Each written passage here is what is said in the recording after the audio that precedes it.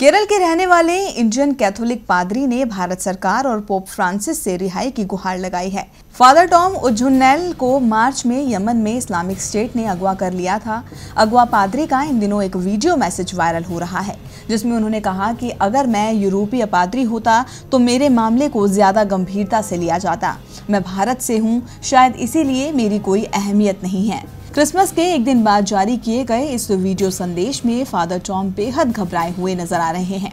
इसके साथ ही वीडियो में पादरी ने ये भी कहा कि पोप फ्रांसिस एक पिता की तरह मेरे जीवन की रक्षा करे। मैं हताश हूँ और मेरा स्वास्थ्य गिर रहा है।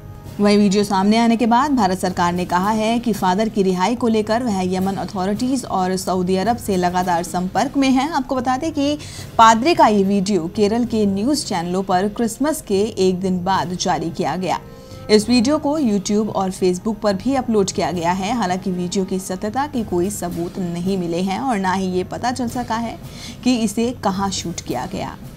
तो नौ महीने पहले फादर टॉम को इस्लामिक स्टेट ने अगवा किया था और अभी तक वह उनकी कैद में है।